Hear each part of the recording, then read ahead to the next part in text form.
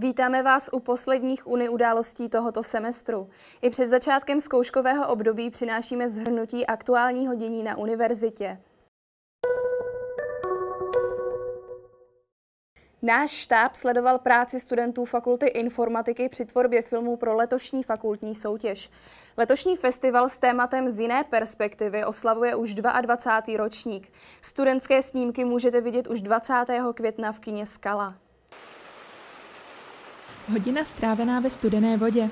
Režisér Ondřej Kocar si chtěl být jistý, že tato scéna bude perfektní.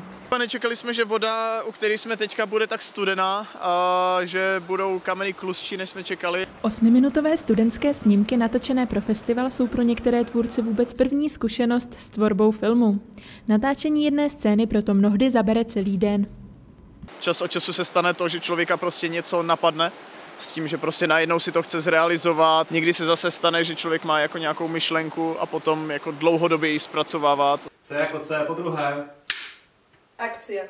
Dalo neskutečnou práci sehnat všechny lidi, ale zrovna tady ten tým si myslím, že troufám si říct, že si hodně dobře sedl. Všichni jsou jako perfektně kompetentní na ty pozice, na které jsou a tady to funguje dobře ten tým. Na té práci mě nejvíc baví naplňování té původní vize, kterou jsem vlastně nějak získal, když jsem ten námět vymyslel a rozvíjení realizace toho scénáře teďka.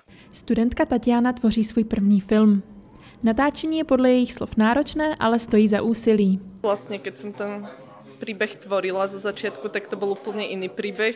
Pôvodnú jednu linku som celú vyhodila odtiaľ, potom ma inšpiroval jeden chlapík v šaline a od tej scény sa odvinul celý nový príbeh. Zkušenost s festivalem může tvůrcům kromě zlepšení dovedností ve filmové tvorbě přinést i zkušenosti, jak diváci reagují na jejich film. V konkrétnych scénách um, ľudia majú emóciu, ako aj ten tvorca chcel, aby mali emóciu. Takže si myslím, že pre tých menších tvorcov je to určite dobrá skúsenosť vidieť, ako na ich film reagujú ľudia. Tak hrozne ťažké nie ani možno niekedy tá akcia, ale organizovať ľudí, pretože festival tvorí vlastne každý rok nový tým, pretože každý rok sú to noví študenti a tí, ktorí to tvorili predtým, iba vedú nových študentov. Fakulta informatiky letos pořádá již 22. ročník filmového festivalu, tentokrát s podtitulem Z jiné perspektivy. Festival proběhne po dvou letech opět prezenčně. Dokončené filmy budou diváci moct zhlédnout 20. května v 19 hodin v univerzitním kině Skala.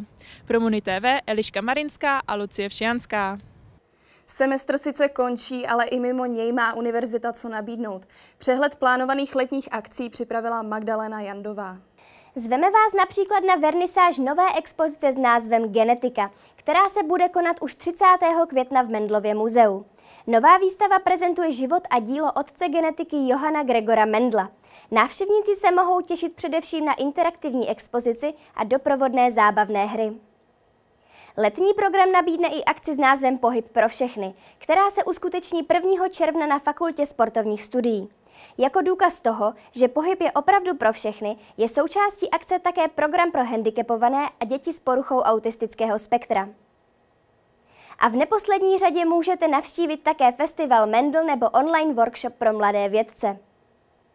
Všechny akce najdete na stránkách Masarykovy univerzity v kategorii kalendář. Prezident Miloš Zeman ocenil doktorantku Masarykovy univerzity Zlatým záchranářským křížem. Nejvyšší vyznamenání svého druhu získala Michaila Richtrová z Lékařské fakulty. Ocenění obdržela za zásah v Tišnově na Brněnsku, kde loni v říjnu došlo k vážnému napadení šesti osob. Na místo vyjela Richtrová jako velitelka zásahu zdravotnické záchranné služby Jihomoravského kraje. A opět nabízíme i zhrnutí dalšího dění na sociálních sítích. Připravila ho Natálie Nečasová. Tentokrát jsme se studentů Masarykovy univerzity ptali, jakou poslouchají při cestě do školy a ze školy hudbu. Na celou epizodu Ask Muni se můžete už nyní podívat na všech našich platformách. A zpátky jsou i naše živé přenosy koncertu indie kapel nejen z Brna. Přímo na FUSO se zahrála skupina Craigie Collide. Na celý záznam koncertu se můžete podívat na našem Facebooku. Série rozhovorů se studenty, kteří vycestovali do zahraničí, pokračuje výletem do Tajvanu. Karel Blažek tam strávil dva semestry a o svých zkušenostech se bavil s naší moderátorkou Lubkou Závodskou. Děkujeme, že nás sledujete. Na nový obsah se můžete těšit také v létě.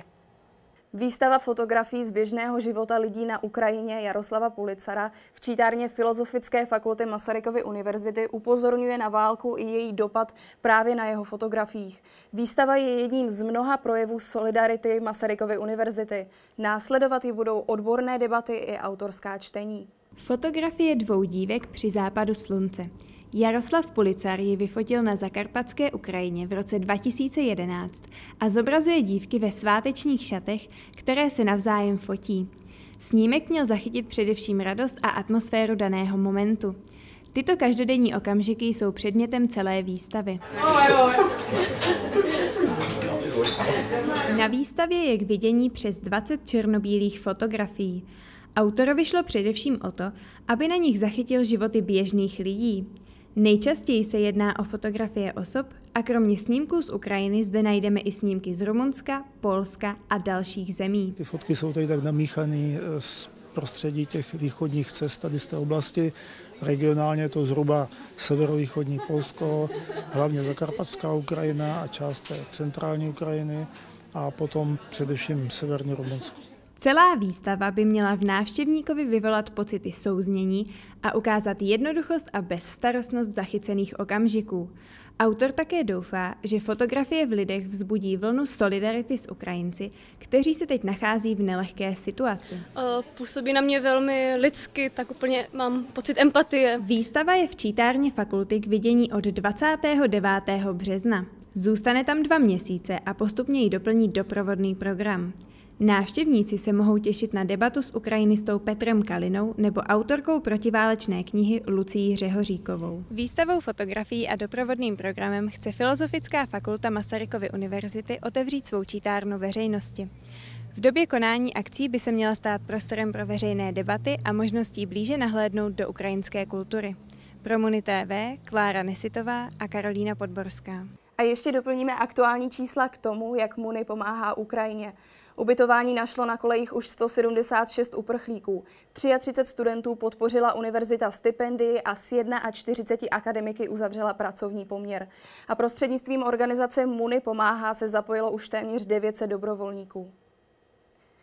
To je od nás pro jarní semestr vše. Za celý tým Uni událostí se s vámi loučí Monika Krejsová.